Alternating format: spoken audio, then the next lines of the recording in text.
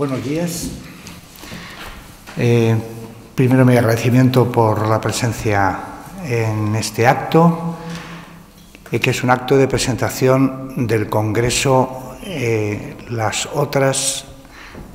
protagonistas de la transición, la izquierda radical y las movilizaciones sociales.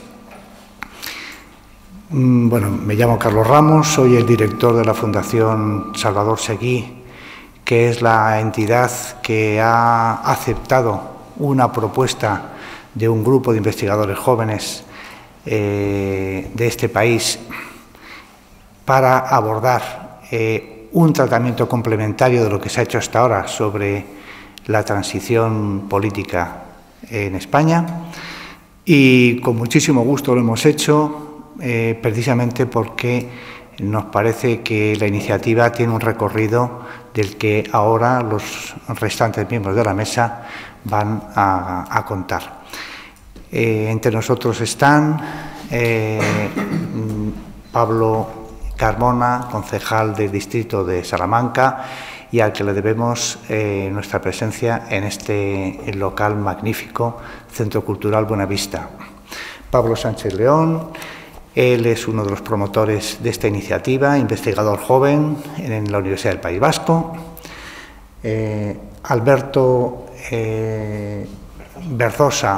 eh, es el comisario de la exposición que vamos a inaugurar hoy y el organizador de un magnífico ciclo de cine sobre la transición hecho por y con los activistas y los actores de aquel proceso eh, político. Y finalmente eh, Julio Alonso, que está con nosotros en representación de la Confederación General de Trabajo, que respalda eh, el Congreso y, sobre todo, respalda una iniciativa interesante que es el ciclo de cine del que vamos a hablar. Le cedo la palabra a, a Pablo Sánchez para que nos hable de qué ha pasado y por qué este Congreso. Pues muchas gracias. Muchas gracias por la buena acogida de las instituciones, tanto municipales como de la propia universidad y de la promotora, eh, la Fundación Salvador Seguí, también de todos los mm, participantes ya eh, declarados y asegurados en el Congreso de, que arranca para el próximo viernes, los días 24 y 25. En realidad, el motivo de escoger un tema como, el que planteamos para esta eh, actividad, para este congreso, tiene que ver con la sensación que creemos que mm, por primera vez en un montón de tiempo vive la sociedad española en los últimos años. El cambio en el ciclo político ha ido trayendo consigo un deseo claro de reinterpretar y devolver la vista sobre el proceso fundacional de la democracia española, los tiempos de la transición. Nos encontramos, sin embargo, con que existe un relato dominante, digamos, convencional, que puede estar más o menos especializado, mejor contado, peor contado por especialistas, pero que ha calado en la población de que la transición española fue esencialmente el resultado de unos acuerdos entre unas élites pues, de la vieja dictadura o de los nuevos grupos emergentes o entre ellas. Por otro lado, sin embargo, existe también una memoria suficientemente clara de que hubo unas movilizaciones eh, y un aumento de la conciencia contra la dictadura, hubo una actividad antifranquista más que declarada y eh, palpable tanto en memoria como en un montón de y testimonios como en un montón de estudios, pero esta más o menos viene a terminar en el momento en el que eh, muere el dictador y se abre el proceso transicional. Realmente, ¿cómo tiene lugar la transición española eh, de una forma que intente juntar estos dos elementos no se ha producido nunca? El planteamiento que de alguna manera justifica un congreso como este, ya solo en términos de contenido, es claro. Necesitamos mejor conocer y más conocer cómo es que tuvieron lugar los procesos políticos que afectaron al conjunto de la población española o a partes de ella entre el año 75 y el año 82 como mínimo. Es decir, hubo algo más que acuerdo de élites y algunas protestas en el periodo transicional? Nuestra respuesta es que sí, pero que necesitamos que eso, evidentemente, sea refrendado tanto por quienes investigan como por quienes tienen memoria de aquellos acontecimientos. Hubo una implicación ciudadana en activismo social y político que resulta desbordante mirado desde la perspectiva de lo que han sido los 40 o 30 y tantos años siguientes, en los que la estabilización de un modelo bipartidista o cercano al bipartidismo y la existencia, sin duda, de movilizaciones políticas y sociales no recoge la riqueza, la variedad, la amplitud y la profundidad del periodo abierto justo con la muerte de la dictadura. Simplemente por poner dos ejemplos relacionados con los movimientos sociales debería ser suficiente. El primero es que el año 1976 figura todavía hoy como el tiempo, el periodo de año con mayor intensidad de huelgas de la historia contemporánea española entera, en términos por lo menos medibles de horas de trabajo perdidas por la conflictividad, es decir, que no ha habido un periodo con un disparadero de huelgas de trabajadores tan grande después ni antes. El segundo es que aunque, por poner un ejemplo de otras características también en el terreno social, el segundo es que a pesar de que las primeras manifestaciones del orgullo gay se datan a comienzos de los años 90, hubo ya una movilización de esas características notoriamente clara en el año 1979, que después no se continuó en el tiempo y reapareció años después. De esta manera, por el lado de las movilizaciones sociales, la transición reúne sobrados ejemplos eh, marcados e intensos de lo que se llaman movimientos sociales clásicos, los que tienen que ver fundamentalmente con el mundo del trabajo, pero además también una pionera o adelantada eh, eh, emergencia de lo que se entienden como nuevos movimientos sociales. Si nos metemos en el terreno más de las organizaciones políticas, tenemos una variedad muy amplia de grupos políticos situados conscientemente a la izquierda del Partido Comunista de España que había capitalizado suficientemente o en principio con bastante claridad las movilizaciones contra la dictadura durante los comienzos de los años 70, de manera que una vez muerto Franco aparece un florilegio gigantesco, amplísimo, de tendencias ideológicas diferentes que van marcando agendas políticas propias, que entran en discusión entre sí, que consiguen mayor o menor movilización, sobre todo de tipo electoral bastante limitada, pero sin embargo resultan relevantes, en algunos casos cruciales, para muchas de las protestas y de las actividades sociales, incluso culturales, que tienen lugar en el periodo. Si por si esto fuera poco, en medio de todo esto y quizá haciendo de nexo de todo ello,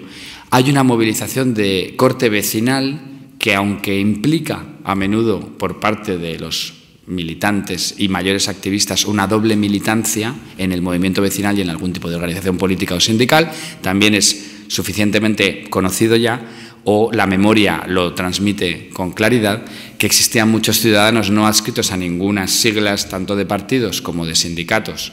tanto de movilizaciones clásicas como más nuevas, que sin embargo a través de las movilizaciones de corte vecinal de tipo local estaban implicados políticamente. Bien, pasan 40 años de todo esto, tenemos un escenario político en la actualidad que creemos que permite una recuperación de la memoria de aquel tiempo y al mismo tiempo un interés por el conocimiento de aquel tiempo que tenga significado para el presente. Al fin y al cabo, queremos volver allí, pero lo que queremos es aprender a pensar históricamente la transición española. Pensar históricamente la transición española significa no explicar el presente a través del pasado, sino tal vez hacer la operación contraria. Podernos distanciar de lo que hoy se considera convencional en la política o de lo que ha sido considerado convencional como forma de actividad política de los especialistas, los políticos profesionales versus los ciudadanos más bien pasivos, y al recuperar una memoria y un mejor conocimiento de los años 70 y del periodo que se abre eh, con la muerte de Franco, poder de alguna forma recuperar un debate político para el presente que tenga relevancia. El Congreso eh, se interesa, por lo tanto, tanto por la memoria como por la historia. Se interesa tanto por el pasado como por el presente, con una mirada hacia el futuro, obviamente. Se interesa por lo que tiene que ver con el universo de la participación y se interesa por un elenco muy amplio de cuestiones que después Carlos nos puede quizá desgranar un poco más de los distintos temas que se abordan, que van desde las afiliaciones a organizaciones políticas, las protestas de carácter territorial, de campo, de ciudad, cuestiones relacionadas con el género, con las mujeres, eh, la lucha armada como una de las opciones y facetas que en el periodo se considera que mm, se puede poner en marcha y de hecho se activa de alguna manera y también merece un tratamiento, eh, cuestiones relacionadas con el movimiento obrero como tal, el movimiento vecinal, etc. Y yo creo que con esto, pues quizá se puede eh, de alguna forma justificar públicamente que creemos que existe un reclamo potencial de volver en concreto a esos años de la muerte de Franco a el triunfo del PSOE y los primeros años siguientes, el triunfo primero del PSOE del año 82 y los siguientes quizá uno o dos años, como un periodo que convencionalmente admitimos como el periodo de la transición y que sin embargo, por mucho que se haya escrito sobre él, eh, a lo mejor solo tenemos la punta del iceberg. Siguen faltándonos memorias eh, por recabar abundantísimamente y hay mucho trabajo por hacer eh, que afecta hasta el terreno más elemental de los archivos, de los que tenemos todavía muy poco que podamos considerar que estabiliza la información acerca, por ejemplo, de determinados grupos que después desaparecieron. Y yo creo que con esto, si te parece, Carlos. Muy bien, pues muchas gracias, Pablo. Yo quería hacer una referencia a que con, este, con esta propuesta eh, de iniciativa, eh, mm, la Fundación se enfrenta con la organización de un evento que casi desde el principio entendimos que debería de romper un poco con el molde de los eh, congresos académicos puros. Nuestra idea, mm, tanto de la historia como del tratamiento de la misma, eh, pasa por eh, dar cabida en el debate no solamente a los investigadores, sino también a los protagonistas en la medida en que eso fuera posible. Bueno, esto es lo que hemos hecho. Entre las ciento y pico eh, de comunicaciones que se han presentado al Congreso, una parte la protagonizan los investigadores, de los ocho o diez grandes temas que se abordan, pero hay otra parte también constituida precisamente por los testigos, por los activistas, por la gente que participó activamente en el proceso de salida del franquismo y acceso a la democracia. Eh, además, pensamos que el ámbito físico en el que esto debería desarrollarse eh, debería, en la medida de lo posible, acercarse al ámbito donde se mueve la gente, a Madrid, al centro de Madrid. Esa es la razón por la que eh, recurrimos a nuestro amigo, eh, también doctorando, que pasó sus días en la Fundación Salvador Seguí, haciendo su trabajo de investigación y que hoy es venturosamente concejal del distrito de Salamanca, para que nos echara una mano y lo ha hecho con enorme gusto y desde nuestro punto de vista con eh, un entusiasmo eh, loable. De manera que nos encontramos también en este centro, en el Centro Buenavista. Aquí se va a hacer el Congreso. Eh, el Congreso, otra de las características es que tiene, como ha dicho Pablo antes, un carácter transversal. No pretende solo hacer una evaluación, un trabajo de investigación y de reflexión desde el ámbito o desde el punto de vista histórico, sino que queremos entrar también en cómo vivió la gente su militancia en aquel tiempo, qué supuso, qué eh, fracasos o qué eh, victorias personales se consiguieron desde ese punto de vista de la implicación personal, de la militancia, es decir, un punto de vista antropológico, pero también sociológico y también eh, incluso estético y cultural. Para amparar eh, ese marco, hemos puesto en marcha también dos iniciativas complementarias que nos parecen eh, muy interesantes. Una de ellas es un ciclo de cine que se titula La transición cámara en mano, porque una parte muy importante de los documentales que se, mm, que se proyectan están hechos por los propios activistas, en muchos casos, y en todo caso ellos son protagonistas. Y hecho en aquel momento, en los años 70, principios de los 80, o hechos después, pero con un enfoque puesto precisamente en esa época. Y la segunda actividad complementaria es una exposición, una exposición en donde los protagonistas son precisamente las bases de esa transición, la gente que anhelaba salir de la dictadura e incorporarse a una eh, eh, etapa, en una etapa nueva, a una democracia que afectara precisamente a la manera de vivir. Y eso yo creo que se, se, ha conseguido, luego nos lo contará Alberto Berzosa, comisario de la misma, de manera que con este aparejo se ha montado un congreso que ha contado con eh, un número importante de colaboradores sin los cuales esto hubiera sido imposible de hacer y a los que ya desde aquí agradezco su participación.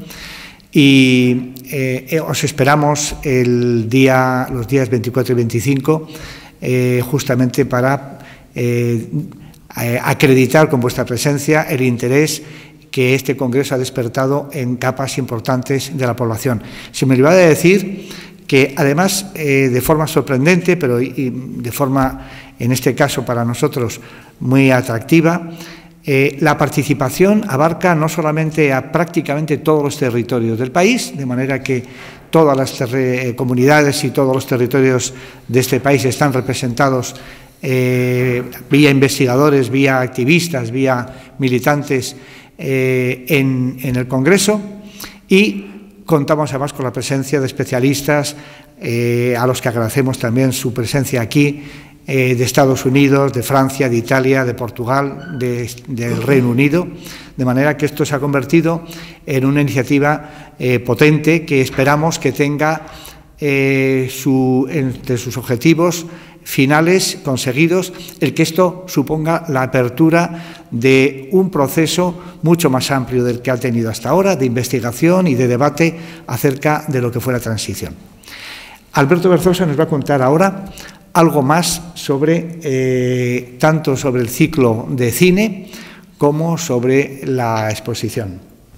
Muchas gracias, Carlos. Bueno, reitero eh, los agradecimientos que Pedro hizo antes Em, perdón, que Pablo hizo antes a, todo el soporte institucional que ha tenido este Congreso, desde el Distrito de Salamanca, la Fundación Salvador Seguí, la Universidad y la CGT. Em, como ha explicado Carlos, em, ah, vale. Como ha explicado Carlos, eh, el Congreso está rodeado por un par de actividades eh, paralelas, eh, de las cuales en cierto modo me he encargado yo, em, que son, por un lado, la, exposición que se desarrolla en, el, en, la sala contigua a este salón de actos, en el mismo Centro Buenavista, em, y un ciclo de cine. Empezando por la exposición, yo creo que, eh, siguiendo un poco la lógica de lo, que, de lo que ha explicado Pablo al principio, la exposición trata de reflejar aquello que eh, parece que pasó eh, durante la transición y que no se ha contado del todo bien hasta ahora. o se está empezando a contar mejor ahora. Eh, se trataría de visibilizar eh, el activismo, eh, los movimientos sociales que hubo acompañando a los cambios políticos que sucedieron en, los años 70. Y para ello hemos contado con algunos elementos de la cultura material de aquellos años. Por cultura material me refiero a boletines, fotografías, propaganda. Eh, incluso algunas obras de arte, que testimonian, explican en cierto modo eh, qué es lo que ocurrió allí. Y eh, en, el, en, el, perímetro de la sala pues está dispuesto todo este material contando una historia eh, que recorre ciertos espacios de militancia, desde los barrios, desde, desde los barrios, pasando por eh, lo que ocurría en las cárceles, pasando por lo que ocurría en las universidades, las fábricas y sobre todo también en las calles, donde emergen los nuevos agentes eh, sociales, como los citados del movimiento de liberación homosexual, el feminismo, etc. Y bueno, luego eh, otra actividad complementaria sería el ciclo de cine, eh, en la cual hay películas eh, realizadas en la transición por los propios protagonistas, por aquellos que, pues, cámara en mano, acompañaban a esos movimientos sociales que se estaban floreciendo desde y antes la muerte de Franco. pero también hay algunas películas realizadas después que piensan sobre lo que ocurrió en la transición y que cuentan también con material audiovisual de la época. Eh, lo reinterpretan y lo explican de otra forma. Entonces es interesante porque estas películas van a estar acompañadas por la presencia de, antiguos militantes, de antiguos, bueno, de los eh, directores que, trabajaban, que trabajaron en aquella época y también por especialistas eh, historiadores e investigadores del cine español hecho durante la transición. Y yo creo que eh, entre todos pues, se va a generar un espacio de encuentro para pensar la transición también desde el, desde el audiovisual, desde el arte, desde la cultura, que creo que también es algo que hace falta volver sobre ello. Y sin más, cedo la palabra a Julio. Julio y amparador también, entidad amparadora del proyecto, eh, tiene la palabra. Muy brevemente, eh, bueno, desde la Confederación General de Trabajo y, sobre todo también desde la, vamos, la Confederación Territorial de Madrid Castilla-La Mancha apoyamos esta iniciativa y nos parece que es muy, muy importante ahondar en, en, este, en, una lectura crítica de lo que sería la transición, ya que efectivamente el relato que nos ha llegado pues, eh, eh, tiene varios elementos que deberían, deberían ser impugnados, deberían de ser revisados, en el sentido sobre todo de, eh, de, la, de, la, función que tuvieron los protagonistas en el sentido de, la, de las luchas sociales. ¿no? Porque efectivamente se da la circunstancia de que había mucha gente que estaba también peleando en cuanto a asociaciones de vecinos, asociaciones estudiantiles, en cuanto al movimiento obrero que, como se ha comentado anteriormente, tuvo gran efervescencia en, la lucha feminista. Y todo esto parece que se ha olvidado por, un relato que, no se compadece con, los testimonios que, que, nos dan las personas que estaban también eh, ahí. Entonces, tanto el propio Congreso como, lo, como el resto de los actos, como la exposición, como el ciclo de cine, eh, puede dar lugar a que eh, haya un espacio, como comentaban, de, encuentro entre los protagonistas y los investigadores y que sea, y que sea bastante fructífero. Entonces, en ese sentido, desde la CGT entendemos que esta iniciativa es bastante positiva y, que puede dar un empuje incluso para que se siga investigando en este sentido y lo valoramos muy positivamente. Muchas gracias. Bueno, pues Pablo Carmona, concejal del Distrito de Salamanca aquí en Madrid, y que eh, agradezco otra vez más eh, su presencia, tiene su palabra. Perdona. Me acerca esto para que se escuche. Bueno, pues muchas gracias por la invitación a esta, a esta rueda de prensa y, también, bueno, pues agradecer tanto a los organizadores del Congreso, la Fundación Salvador Seguí, como la Universidad Complutense, como a la CGT, el que se haya decidido, pues bueno, proponer esta actividad dentro de eh, las actividades culturales que se producen en, en nuestro distrito, porque yo creo que que es un, congreso que tiene, que tiene su importancia. Tiene su importancia no solo por lo que pasa dentro del congreso, por las actividades que se van a desarrollar, sino también por el contexto en el que se produce. En demasiadas ocasiones la idea de transición, ese mito fundacional de la, de la, democracia, de la democracia española, eh, ha sido interpretada de manera demasiado unidireccional y monolítica. ¿no? Es decir, estamos en un momento precisamente por el propio contexto político en el que eh, nos situamos, donde es necesario necesario aplicar otras miradas y también poner encima de la mesa a otros protagonistas de, aquella, de aquella fase. ¿no? Yo creo que eso se está viendo muy bien y en el caso del Ayuntamiento de Madrid es eh, algo que, está muy presente en torno a los debates de la memoria histórica. ¿no? Es decir, la, memoria histórica, lejos de lo que muchas veces se trata de poner encima de la mesa como un proceso de revanchismo con respecto a lo que sucedió en la guerra civil, eh, realmente yo creo que lo que pone encima de la mesa como una memoria democrática, dentro de lo que tiene que ser una, una sociedad madura, es eh, poner en causa de alguna manera, eh, someter a debate también lo que fue aquel proceso de la transición como un hecho analítico y como un hecho político de absoluta normalidad y además eh, necesario. Yo creo que este Congreso se, se inscribe precisamente en esa normalidad que tiene que ver con el poder someter a crítica y poder someter a debate cualquier hecho histórico que además en este caso eh, afecta con tanta determinación y con tanta fuerza al, a, nuestro, a nuestro presente político. Y, y, de algún modo yo creo que en ese sentido es de, es de agradecer que se puedan escuchar las otras voces, los otros protagonismos y también las otras ideas de democracia que se pusieron encima de la mesa en los años 70. ¿no? Puede deducirse de muchos análisis de, aquellos momentos, incluso análisis históricos, que el hecho democrático, el hecho de la socialización del poder, de la defensa de la justicia social, eh, tenía una sola solución. Existía una sola puerta de salida por la que salir cuando realmente cualquier persona que, que profundice en aquellos momentos sabe que hubo muchas ideas de democracia, algunas de ellas enfrentadas entre sí, y que necesariamente en un momento de transformación y de cambio profundo de las raíces políticas de nuestro país se tienen que poner encima de la mesa porque a día de hoy siguen siendo opciones posibles y, y opciones válidas. ¿no?